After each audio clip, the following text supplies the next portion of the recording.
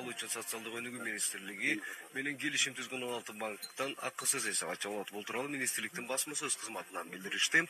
Алтынчы ноябрда өткөн жыйында жаңы төрөлгөн балага бир төлөнүүчү акчаны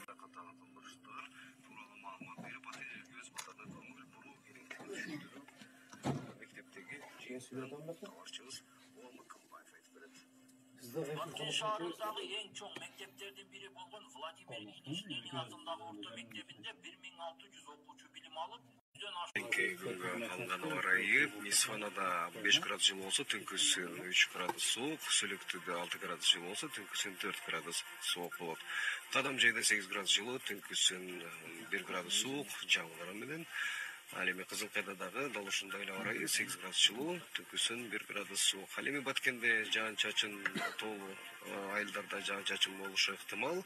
Абанын температурасы сегиз градуска чейин жылыйт. Ал эми түнкүсүн үч градуска чейин суук болот. Урматтуу угармандар сиздер салам радиосунун кабарчылары тарабынан даярдалган жаңылыктар менен тааныштыңыздар ого алып чыккан исабек максутов биз менен чоң болуңуз саламыңыз түз болсун.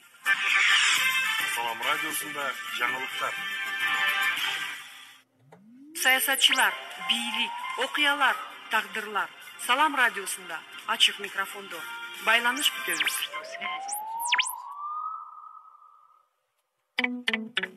баткенден салам.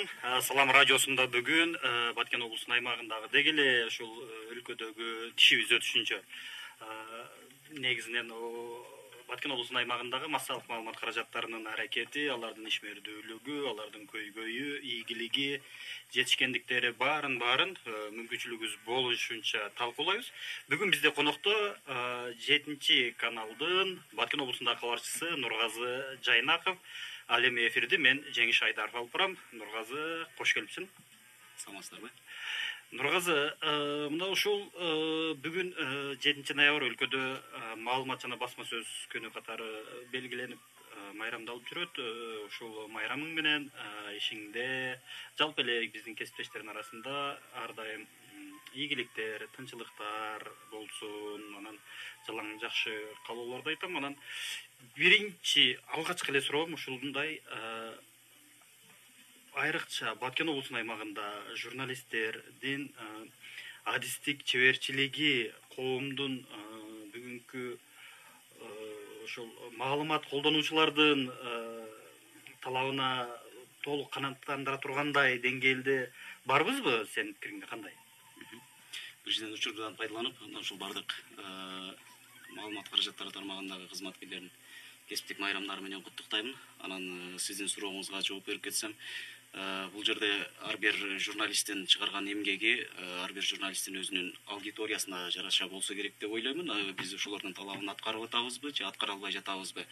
Эми бул жерде мисалы жана айтып кеткендей ар бир журналист өзүнүн стилинде өзүнүн көз карашы боюнча эмгек жаратат да.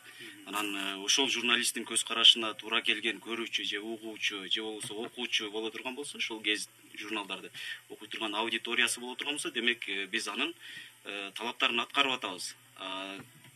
Анан биздин чыгарган эмгектерге такыр эле бир чөйрөсү башка адамдар болсо мүмкүн алардын э, бир мүдөөсүн кандыра албай калышыбыз мүмкүн.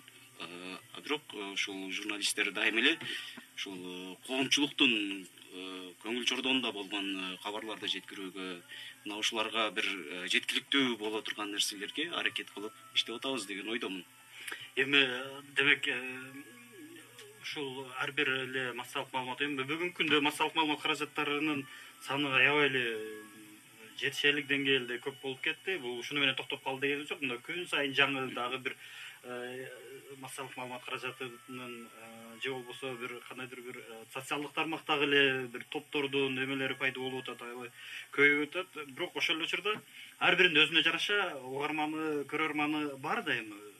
Анан биздин ушул э, жумуштарыбыз э, мына журналистикалык тармагында э, бир адистик чеберчилигибиз топтогон тажрыйбабыз же болбосо бир билим деңгээлибиз ушул бүгүнкү күндөгү окурман көрөрман угармандарды толук канааттандырып кээ бир учурда канааттандырбай жаткан дагы учурлар болуп атат журналист болуу үчүн сөзсүз ушул бир журналистиканын атайын факультетти атайын окууларды өтүш окуулардан өтүп даярдык болуш зарылбы жакшы суроо Э, журналист болуш үчүн э, менин оюмча э, мен өзүм ушул жетинчи каналда азыр аймактык кабарчысымын Э, негизи кесибимде мындан эки миң он экинчи жылы башка кесипти бүткөм ош оштон бүткөм Э, журналист болуш үчүн билбейм эми мен өзүмдү канчалык деңгээлде журналистмен канчалык деңгээлде эме кылышымын аны ушул көрүүчүлөр өздөрү баа беришет. Э, бирок эми менин көз карашым боюнча журналист болуу бул албетте окуп коюу дагы бул көптүк кылбайт. Э, ошол журналистикада атайын факультетте атайын жогорку окуу жайларда окугандыгы бул э, ушул журналистиканын бир калыбын өздөштүрүп кеткенге жакшы. Анан окубай эле мындай эми биз өзүбүз мындай көргөн көзүбүз менен башка бир агайларыбыздын жолу менен ушул журналистика тармагында иштеп келе жатабыз. Анан э, журналист болуунун негизги бир э, жолдору менин оюмча ушул бирөөгө жеткире билүү Э, бир окуяны ушул көпчүлүккө кызыктуу боло тургандай кылып көрсөтө билүү дагы бул ушул журналистиканын бир негизги өзөктөр негизги өзөктөрүнүн бири десем болот. Ал үчүн шык болуш керек. Ал үчүн ушул бирөөлөр менен тил табыша билиш керек ал жерде эми биздин иште көпчүлүк жерде биз мисалы бул жагы президенттен баштап ал жагы ушул көчөдөгү бир жөнөкөй жарандар менен дагы тил табышуунун жолун табышыбыз керек да антпесе биз алардан маалымат ала албайбыз алардын оюн билдире албайбыз менин оюмча ушундай кадамдар менен эми кандай десем атайын бир окууга окугандар деле жүрүшөт да бир нерсени чыгара албай Э, окууну бүтүп келип дипломду алып э, демек демек э, бул жерде сөзсүз эле ушул кесип эмес бул жерде ошол жарандын жеке ички туюму анын бир нерсени байкай билиши бирөөлөр менен сүйлөшө алышы тил табыша алышы ошол эле учурда өзүнүн ушул коомдогу терс көрүнүштөр болобу же бир кандайдыр бир үлгү боло турган демилгелер болобу ошону байкай билиши ички дүйнө таанымы дагы бир башкы орунда турса керек дейм да журналистикада башка орунда ооба сиз туура айттыңыз журналистикада ошол жана айтып кеткендей эле ар бир нерсени коомдо өзүнүн айланасында болуп аткан жанагы жарандык милдетин бир аткаруунун бир жолу бул дагы мисалы көчөдө баратсаң кадимки эле журналист эле эмес жөнөкөй эле жаран бир терс көрүнүштөр болуп калса ага кайдыгерлик мамиле жасабай ошону бир жете турган жерине жеткирип ошонун чечиле турган жолдорун издеген адам бул ушул баардык эле бул жанагы маалымат каражаттарынын бир ролун аткарат деп ойлойм да. А көпчүлүк адамдарыбыз бар. Тилекке каршы мына э, көчөдө эмне болуп атат аны менен иши жок. Э, өзүнүн ишин көрүп кайдыгерлик мамилеси күч Э, көчөдөн кетип керек болсо кээ бир жерлерин өзү дагы салым кошуп койгон учурлар бар. Журналисттердики бул андай эмес. Журналист ошол жерди көрдүбү ошол жерде э, коомго терс көрүнүштөр болуп калса ошонун оңдоо жолун ошону аткара турган адамдардан таап жооптап э, элге жеткирүү? Эми э, мына биз кечээ эле ошол ош мамлекеттик университетинде азаттык медиасы менен чогуу э, биргелешкен форумда болуп келдим. Ал жерде негизги басым ошол журналисттик иликтөөгө басым жасалды да. Азыр э, бүгүнкү күндө жөнөкөй кыска маалыматтарды же болбосо жөн эле бир жаңылыкты бирөөгө жеткирип коюу бул жөнөкөй жарандардын дагы колунан келип калды. Ал эми журналисттик иликтөө бул бүгүнкү күндө коомду дарылоо же болбосо жанагындай терс көрүнүштөрдү э, жемкорлукту аткезчиликти иши кылса ошондой бир жаман терс көрүнүштөрдүн баарын коомчулукка алып чыгып ошону менен дарылап ошону менен анын алдын алуу үчүн бүгүнкү күндө журналисттик иликтөө бир э, башкы талап э, башкы маселеге айланып калды дейт.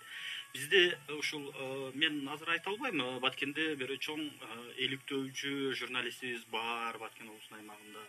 Анан мынау маселелерди тигиндей кылды андай кылды мындай кылды деп айта албайтмын да анткени бизде ошондой бир резонанс жаратып бир э, коомдук пикирди жаратып э, кое тургандай деңгээлдеги бир иликтөөлөр э, жасалбай атат да. Баткен облусунун аймагында бизде бул эмнеден кабар берет? Балким биздин журналисттердин деңгээли кесиптик чеберчилиги тажрыйбасы ошол иликтөөлөрдү жасаганга жетпей жатабы же биздин аймакта ошондой маселелерди алып чыкканга башка бир тоскоолдуктар мүмкүнчүлүктөр э, чектелүүбү?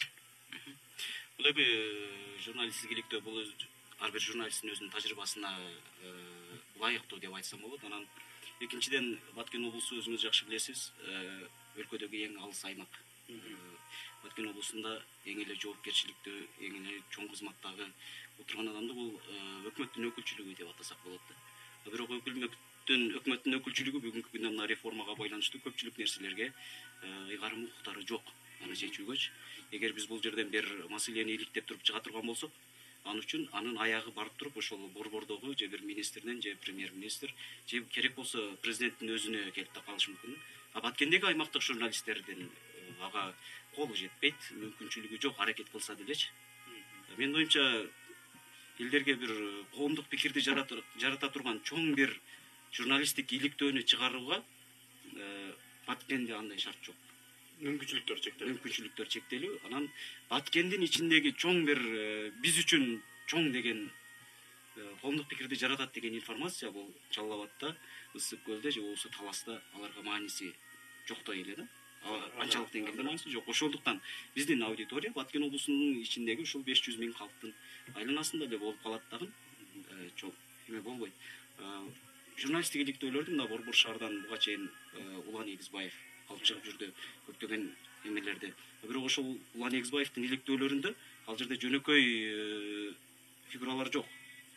Ал жерде ошол эле өлкөгө таасир эте ала турган өлкөгө таасир эте ала турган э, ошол чоң чоң кызматтагы атка минерлерден интервью алып э, ошолордон жооп алып э, чыгаргандыгы үчүн бул мына э, баткен облусундагы эң алыскы айылдарда дагы бул коомдук пикирди жарата алат да Мгм. Э, менин оюмча журналисттик иликтөөлөрдүн так чыкпай жаткандыгы бир э, ушундай деңгээлге чыгара албай жаткан журналисттердин эмгектери дагы бул ушуга байланыштуу деп ойлойм демек э, бул э, журналисттик э, бир эле журналисттик иликтөөнү жасаш үчүн бул көбүрөөк каражат сарпталат биринчиден э, экинчиден э, көбүрөөк убакытты алат Э, бул э, түшүктүү иш албетте анан биздин мына аймактык кабарчылар э, же болбосо ушул жерде иштеп жаткандар мындай кылып башка жумуштарын таштап ошол бир иликтөө менен бир айдай артынан жүрүп анын э, ар бир аймактарды кыдыруу э, жетери жетине баруу дегендей бир каржылык маселе дагы бир негизги бир маселелердин бири бут тосуп аткан маселелердин бири болушу мүмкүн да.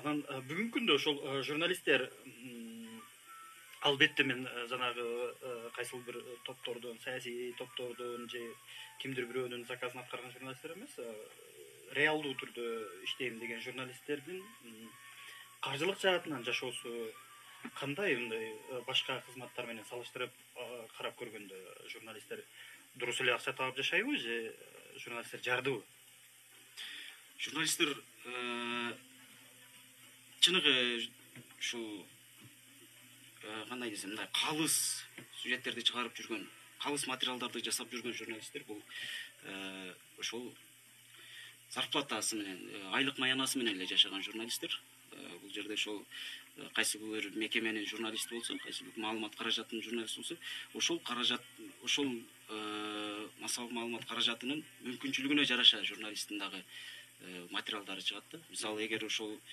э, мисалы эл аралык деңгээлдеги чоң редакциялардын журналисттери каржылаган эмелер алар э, башкараак э, каржынын мындай балким көбүрөөк көлөмдө тапса жөнөкөй чакан редакцияныкы э, чакан редакцияныкы бул өзүнүн мүмкүнчүлүгүнө жараша. Э, эми мисал келтире кетейин мисалы жетинчи каналдын э, журналисти катары э, мага бөлүнгөн акчадан э, ошол баткен облусунун аймагында материал жасаганга жетет кудайга шүгүр А бирок мен баткен облусунан чыгып э, башка бир бишкек шаарына бара турган болсом ал сөзсүз өзүмдүн каражатымдан Мгм. Э, бирок ага менде мүмкүнчүлүк жок себеби мен бир ай бою облустун ичинде чуркап жүрүп материал жасап э, алган зарплатам ушул өзүмдүн кийинки айга чейинки турмуш тиричилигиме жетет анан бул жерде башка бир жакка барып келгенге мүмкүнчүлүк жок анан баягы э, эл аралык уюмдар тарабынан каржыланган уюмдар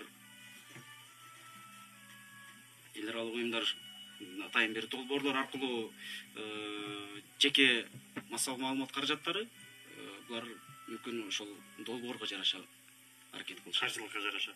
Эми э, бизде мен билем журналистикада бир топ эле мүмкүнчүлүктөр бар да. Анткени айрыкча мына аймактагы журналисттерде мүмкүнчүлүктөрү бар. Анткени журналист э, бул мамлекеттик кызматкер эмес бул мыйзам менен бир гана э, редакцияда бир гана массалык маалымат каражатында иштесин деген талап жок Э, эгер ал чеберчилиги жогору адистиги жогору болсо башка редакциялар менен да кызматташып өзүнүн материалы жасаган макалалары күчтүү деңгээлде жасалса ага сөзсүз э, дагы көбүрөөк каражат тапканга мүмкүнчүлүк бар. Анан мен ушул э, акыркы учурда журналистиканын коомдо орду э, кайсыл деңгээлге жетип калганын мен азыр э, баамдай албай турам да. Анткени э, бүгүнкү күндө ушул ааламдашуу заманында интернет колдонуу бул э, мындан бир он жыл мурда баткен облусунда үч пайыз деп айтылып келсе азыр мен айта алам бир жетимиш сексен пайызга чейин э, жетип калды да. Анткени беш алты жаштагы баладан баштап элүү алтымыш жаштагы кишиге чейин баары смартфондон чөнтөк телефонунан интернетти колдонуп маалыматтарды алып ошол эле учурда социалдык тармактар аркылуу маалыматты керек болсо чагылдырганга коомчулукка жеткиргенге чейин мүмкүнчүлүк түзүлүп калды да ошондой болгон учурда расмий массалык маалымат каражаттарынын деңгээли түшүп баратабы эми ушул социалдык тар- тармактар аркылуу маалымат көтөрүлгөндө расмий журналистиканын орду басаңдап кетип атабы сенин пикириңде кандай ушул бир э, өзгөрүү барбы эми албетте ушул э, мүмкүнчүлүктөр кеңири болуп калды мына техника жагынанчы Э, интернеттер бар жок болуп эме болуп ар бир адамдын колунда маалымат булактары бар да. Ошол эле учурда ар бир адам дагы маалыматты жайылтууга мүмкүнчүлүк түзүлүп калды мисалы блогерлерди айтсак э, жарандык журналисттер ооба жарандык журналисттер керек болсо бир эле блогердин э, жалпы бир мамлекеттик каналдан көп өзүнүн аудиториясы бар өзүнүн э, катталуучулары бар. Бирок э, бул жерде менин эң негизги коркуп аткан жерим мына ушундай мүмкүнчүлүктөрдү биз туура пайдалансак дегеним да. себеби мындай мүмкүнчүлүктөр менен э, көпчүлүк учурда баягындай жеңил желпүү маалыматтар бир тараптуу маалыматтар такталбаган маалыматтар э, чыгып кетип аткандыгы бул өкүндүрүп атат. Анан ошол эле учурда мына ушундай маалыматтар э, көпчүлүк адамдардын мындай кабыл алуусуна жакшы таасир тийип атат да. Мисалы жакында эле мына э, өзбек кыргыз чагымчыл видеолор чыгып кетип атат. Ал жерде э, өзбек кыргыздарды эме кылып атканы үстөмдүк кылып атканы кыргыз Бул эми улуттар аралык улуттар аралык маселелерди козутуп берип атат. А мына ушул жерде чыныгы ушунун түбүнө жетем деген ушунун ачыктыгын аныктаймын деген көрүүчү окуучу ошону. Окуй турган адам э, обязательно ушул расмий маалымат булактарына келип та калат келип да. Калат да анан э, ошол жерден билинет э, ал видео качан чыккандыгы ага кандай чара колдонулгандыгы мына биздин журналисттер расмий маалымат булактары баарын эле аныктап беришти. Бирок ага чейинки ушул коркунучтуу жери бир элдик толкундоолорду жаратып берүүсү мүмкүн.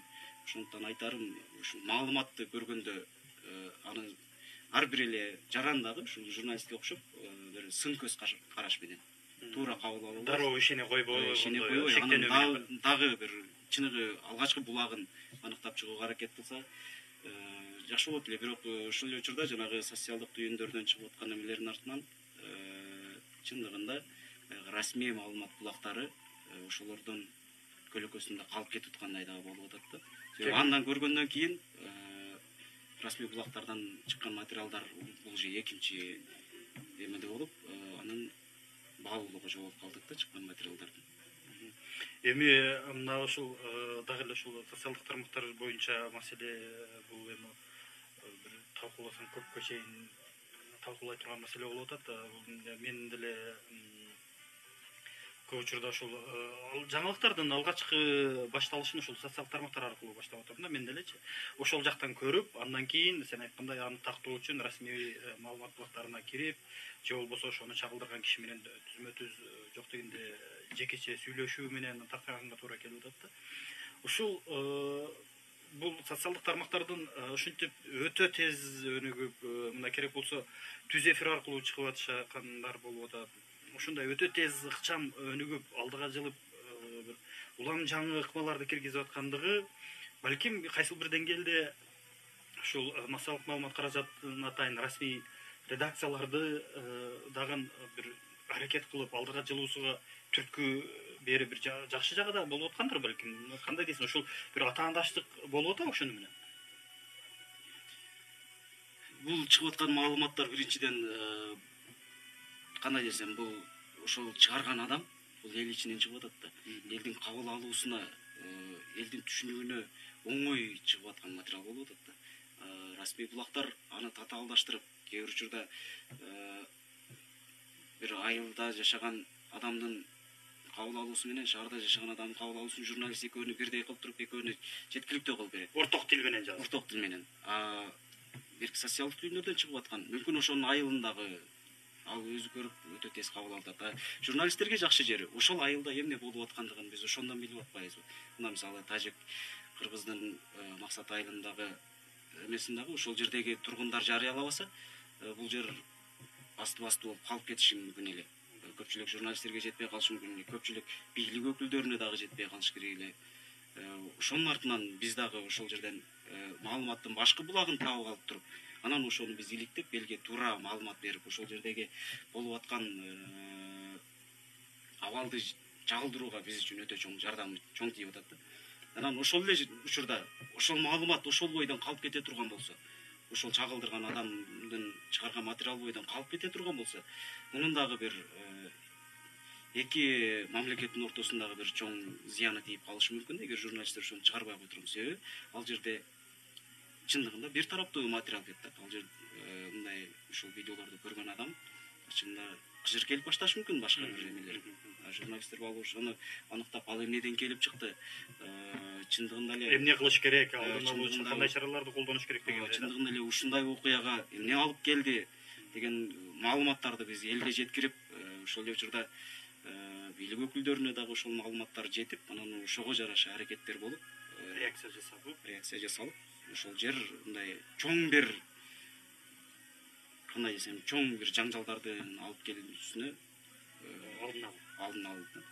Анан э, мурдараак өтө көп барбасак дагы э, союз учуруна жетпесек дагы андан берки мына он беш жыл э, мурдакы журналист менен бүгүнкү журналистке болгон талап кандай болуп калды? Мен ушул ойлондуруп атат да анткени мурдараак бир журналист болсо анын өзүнүн багыты бар болчу ал болгону компьютерде иштегенди билиш керек же жаза билгенди билиш керек ал эми оператор болсо аны тартканды билиш керек болчу а бүгүнкү журналистке э, талап мындай жогору болуп калды да биз баягы орусча айтып туруп три в одном дегендей болупчу бул э, ошол учурда редакциялар үчүн ыңгайлуу экен бир эле кишини жалдап алса э, ал ошол эле учурда журналист ошол эле учурда оператор ошол эле учурда үн режиссеру дегендей баарын караганга милдеттүү болуп калат экен бул ошол жанагы үч төрт кишиниге маяна бергенден көрө бир кишиге бир аз көбүрөөк акчаны берет экен экинчиден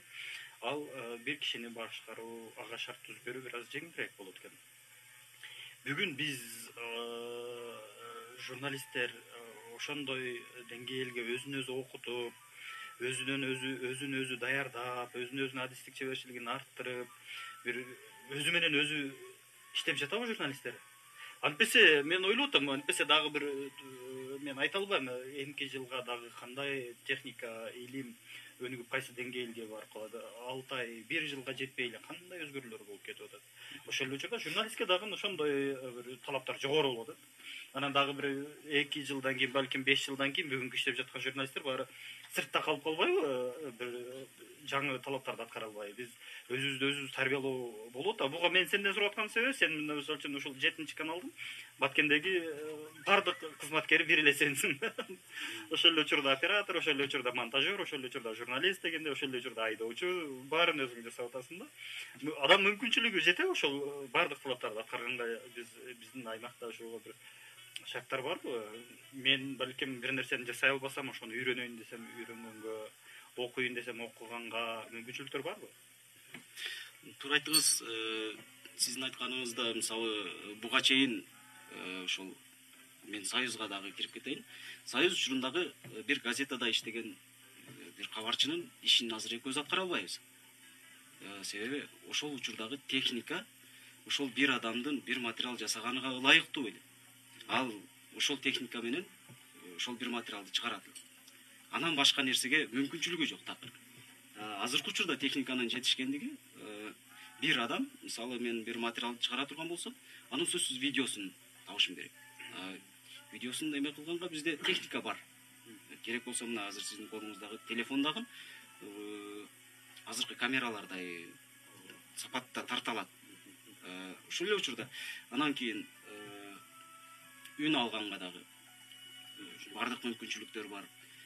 Аны жа- жарыялаганга дагы баардык мүмкүнчүлүктөр бар. Мына ушул жактарын эске алып туруп азыр эми бир материалга үч адамдын же төрт адамдын ора ора болушу ал үч төрт адамга айлык маяна берүүсү үч төрт адамдын өзүнүн үч төрт жоопкерчиликти жүктөп алардан жоопкерчиликти талап кылып отуруунун кажети жок болуп калып атат да себеби ушул баардык техникалардын жөнөкөйлөштүрүлгөндүгү э, баардык техникалардын э, адамга ыңгайлуулугу жагынан мына ушундай болуп калды анан э, бүгүнкү күндө баткенде ачыгын айтсам мурда ушундай шартта иштеп жүргөн адам оператор боло албаса монтажер боло албаса анан жөн эле. Э, текст жазып жүргөн адам менин оюмча сиз айткандай жакынкы беш алты жылдын ичинде чындыгында көчөдө калып калышы мүмкүн. Э, же болбосо ушул фейсбуктагы өзүнүн баракчасына эле бир материалдарды чыгарып калышы мүмкүн да. Э, а бирок жумуш. заман талабына ылайык ошол адам менин оюмча беш алты жылда ошол бойдон эле жүрө берс- берсе керек деп ойлойм да. Себеби ушул телефондагы үй сүрөткө тартса дагы үй видеого тартса дагы беш алты жылда э, бир материалды дагы сүрөткө тартканга даяр болуп калат Э, аны монтаждаганга дагы мүмкүнчүлүгү бар болуп себеби ар бир редакцияларда күндө компьютер камера э, баардык шарттар бар. Демек өзү менен өзү иштөөгө дагы иштесе болот өзүн өзү тарбияласа өзүн өзү ошого окутуп үйрөтсө болот баткендин шартында өзүн өзү окутуп эме кылса аракет кылса болот. Себеби бизде мына э, университетибиз бар. Ал жерде журналистика факультети журналистика институту эч нерсеси жок да. Биз болгону эле өзүбүз агайларыбыздан көрүп буга чейин иштеп жүргөн адамдардан көрүп керек болсо үйгө барып телевизорду карап отуруп ошол жерде кантип тартып атат кантип сүйлөп атат баардыгын биз өзүбүз эле үйрөнүп атабыз да. А, өзүбүз үйрөнүп өзүбүз аракет кылбасак бирөө бизге келип кылып бербейт да мисалы келип туруп е сен мына камераны үйрөнүп алдың өзүң эле иштей берсең болот деп эч ким айтпайт аны э, өзүнүн директору так сага оператордун кереги жок э, же оператору дагы жазууну биле турган болсо анда ал редакцияга журналисттин кереги жок оператор баардыгын кылып атат ушундай бул заман талабы деп. Бүгүнкү заман ошол ошону бүгүнкү коом ошону бүгүнкү коом мына ушуга алып келатат ушуга алып келип атат анан эми э, журналисттин жумушу бир эле учурда оор ошол эле учурда кызыктуу ошол эле учурда жеңил деп айтам да мен. Анткени журналистикада өтө бир эгерде жумушуңду жакшы өздөштүргөн болсоң өтө көп кыйналыштын кереги жок ошол эле учурда кыйынчылыгы жок деген менен ар бир сөзүңө жооп берип ар бир жасаган аракетиң бул сен коомдук пикирди жаратып кандайдыр бир маселелерди чыгарышы мүмкүн анан ушул мындай учурда журналист э, жана өзүң айтып кеттиң тил табыша билиш керек сүйлөшө билиш керек э, мамиле кура билиш керек деп. Бизде ошол сүйлөшө билүү кызматташуу э, айрыкча мамлекеттик мекемелер расмий маалымат булактары менен иштешүү албетте башка кошуна өлкөлөр менен биз салыштырбайбыз анткени аларда такыр башка бизде башка баягы эле демократия аралчасы дегендеги макамыбызды расмий эмес макамыбызды сактап калышыбыз керек аны андан ары өнүктүрүшүбүз керек. Абал кандай ушул багытта сен жеке жумушуңда мына мекемелер менен э, райондук областтык жетекчиликтер менен э, бир күндө болбосо эки күндө бир баары бир э, сүйлөшүүгө алардан маалымат алууга туура келет да анан биздин мыйзамдар бизде түзүлгөн шарттар ошого кандай акыбалыбыз кандай бүгүнкү күндө эми тил табышуу бир материалды алуу ошол баткенде баткендин шарты боюнча менин өзүмдүн практикамда көпчүлүк учурда мыйзамдардан сырткары дагы бир жол жобосу бар. Бул тааныш билиш болуп калып атат да жеке мамилелер. Ооба жеке мамиле ошол район өкүлү облус өкүлү же болбосо бир ишкананын өкүлү. Э, иш багытында эмес жөнөкөй жашоодо дагы мамиле кылып жүргөндүгүбүз бул чоң өзүнүн жардамын тийгизет анан э, көпчүлүк учурда мына биздин э, мыйзамдарыбыз журналисттердин биздин шартта бир аз эгер чындыгында ошол мыйзамга такай турган болсок бизге бир аз кыйынчылык болуп калат бир маалыматты алуучу себеби ал жерге катталышың керек. Катталгандан кийин андан кийин расмий сурооңду расмий жөнөтүү керек. Аны он төрт күн мыйзам уруксат берип койгон он төрт күнгө чейин 14 күндүн күтүш керек деген. ичинде күтүү деген. Бирок бизде андай мүмкүнчүлүк жок. Азыр баардык нерсе тез жана ыкчам жүрүп ыкчам жүрүш керек. Бир сюжетти мисалы интервьюну алгандан кийин он мүнөттүн ичинде сен эфирге беришиң керек болуп калат.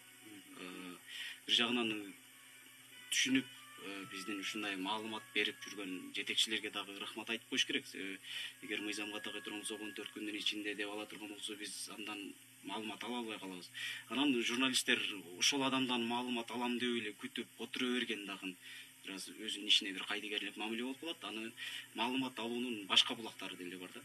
Ошол абалдан чыгып элге баары бир ошол маалыматты жеткирүү үчүн бир гана жетекчинин э, көз карашы жетекчиден бир маалымат менин оюмча өтө деле э, маанилүү эмес каранды болуп калбайт Э, себеби ошол жетекчи бере турган маалыматты жөнөкөй жарандар деле азыр социалдык түйүндөр аркылуу бүт өздөрү билип отурбайбы Э, керек болсо ошол жетекчиден барып интервью демек бул журналисттин өзүнүн жеке чеберчилиги. э, көз каранды экен да анан бүгүн ушул коомдо журналисттерге болгон бир бир э, көз караштар менен да эсептешилеби коомчулук бул редакцияны же болбосо ошол журналисттин жасаган материалдары аркылуу таанып билип ошонун бир ар бир макаласын окуп дегендей эле айтып өткөн улан эгизбаевдин ар бир макаласы бул чоң резонанстуу макалалар болуп турган эми биздин баткендин аймагында деле ошондой бир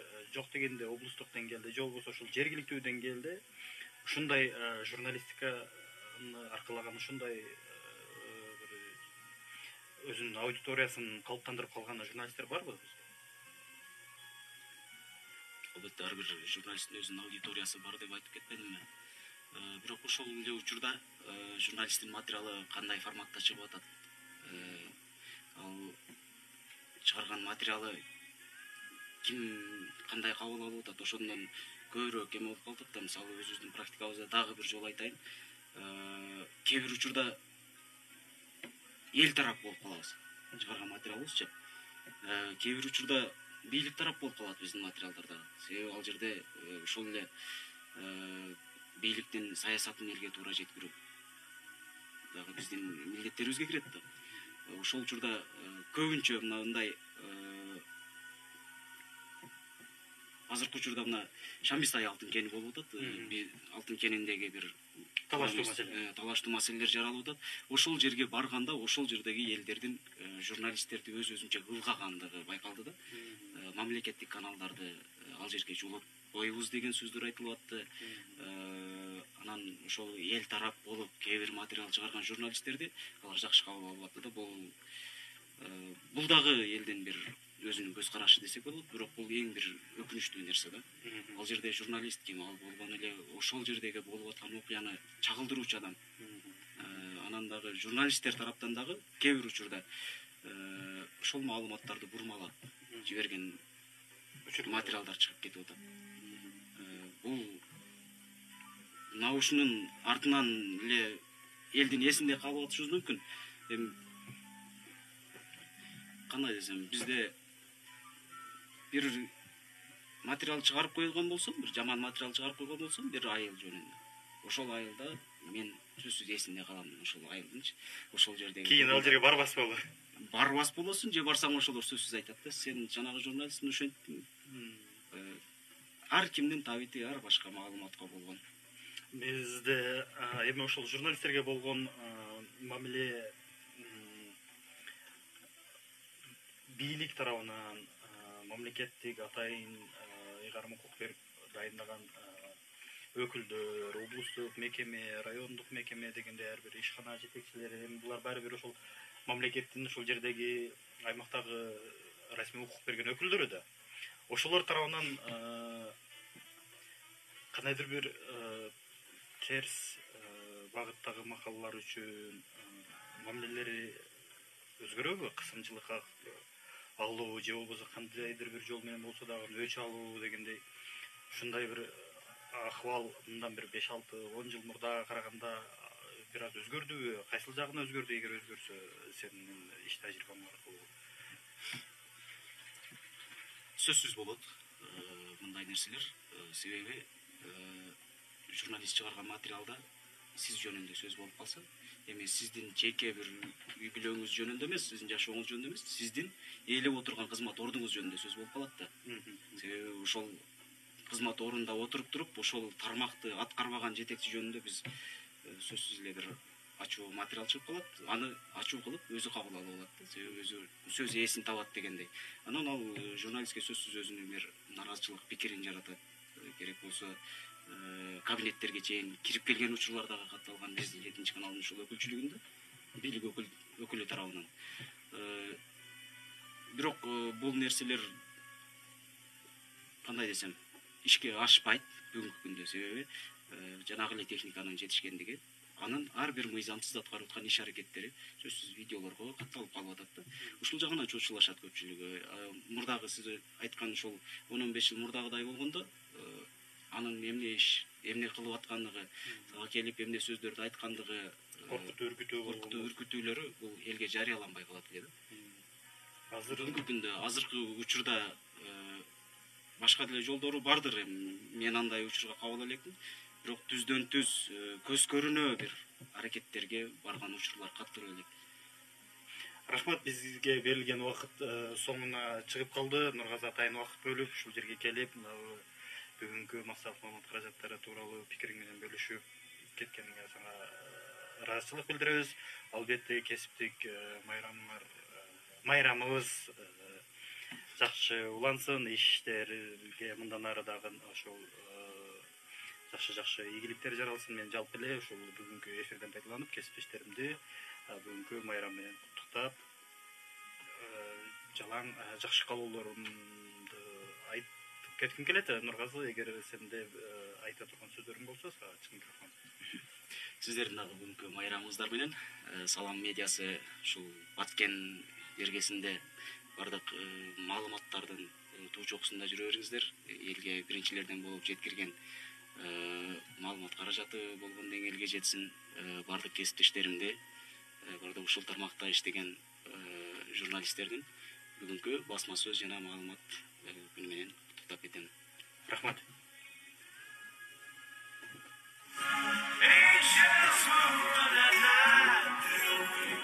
саясатчылар бийлик окуялар тагдырлар салам радиосунда ачык микрофондо байланыш күтөбүз